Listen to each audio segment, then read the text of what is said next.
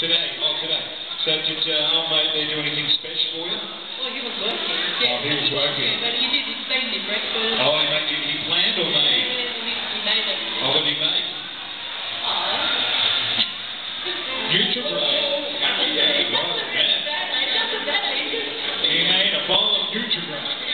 That's beautiful, Terry. It's the thought that goes into it. Well, yeah, well, making a bowl of Nutri-Grain, a lot of thought's going over that. Now, listen, are you ready to sing this Pointer Sister song for us? So excited. It's your of song, Jackie. You'll be great at it. Off you go.